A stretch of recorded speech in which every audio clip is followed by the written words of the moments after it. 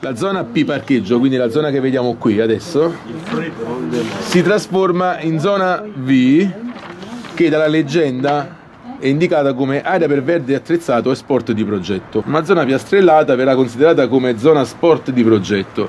Ma io non so sulle mattonelle che sport si possono fare, forse pattinaggio, curling, eh, già le bocce andiamo in difficoltà. Là dove c'era l'erba ora c'è una città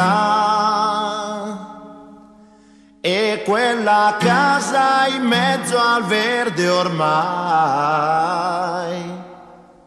dove sarà?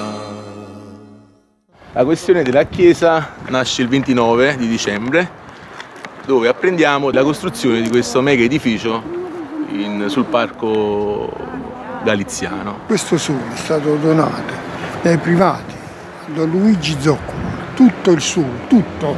Sapevamo già da tempo che c'era eh, un progetto inerente alla costruzione di un edificio di culto. Perché Don Luigi non tempo. ci aveva proposto una chiesa, una mega chiesa, ci aveva proposto la chiesa che doveva essere fatta in quell'angolo lì. Abbiamo un attimo cercato di capire, di acquisire la documentazione, farla studiare a qualche tecnico, perché noi tecnici non siamo, e ci siamo resi conto che le dimensioni erano abnormi. Dunque il progetto doveva essere fatto su quel poggio. Entro i limiti di quella staccionata lì. Vorremmo avere maggiori spiegazioni circa le volumetrie e le altezze, avremo muri di 8 metri e mezzo, muri di 7 metri e 76 tutta questa zona dove comunque vedo diverse altezze naturalmente in correlazione con, la, con eh, il declino della collina. Questi signori che stanno facendo la, la, la dimostrazione è perché abitano là e dicono che ci tolgono la luce, ci tolgono il sole, ci tolgono il mare. Io già non ce l'ho il mare, non lo vedo da casa mia.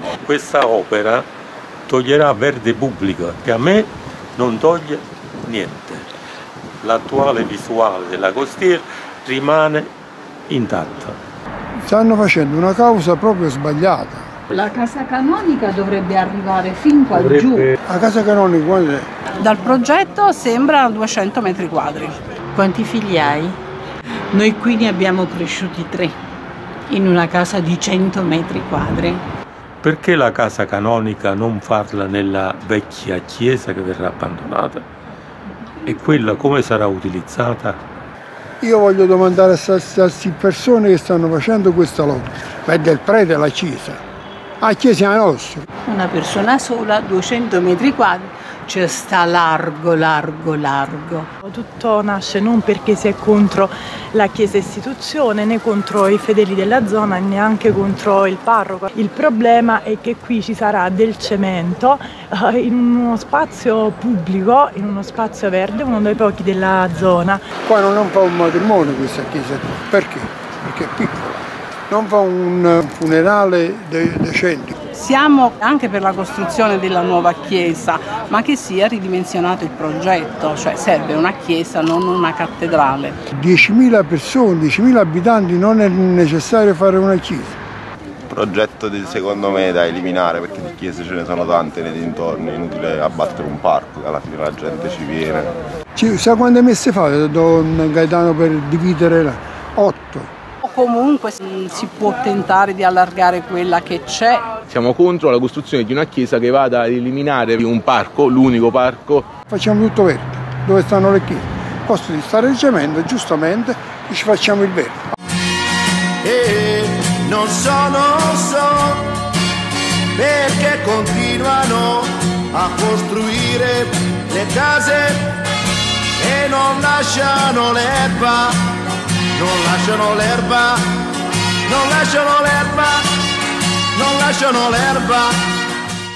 Deve essere costruita ma facendo attenzione a quelle che sono anche le esigenze, le esigenze della popolazione. Non tutti sono credenti, non tutti sono della stessa religione e per cui penso che il parco è uno spazio pubblico uh, e tutti hanno gli stessi diritti in questo parco. Chiediamo semplicemente il ridimensionamento del progetto e soprattutto non venga a stravolgere il parco. Chiediamo di poter parlare con il sindaco e speriamo che ci riceva. Non lasciano l'erba non lasciano l'erba, non lasciano l'erba e no, se andiamo avanti così, chissà come si farà.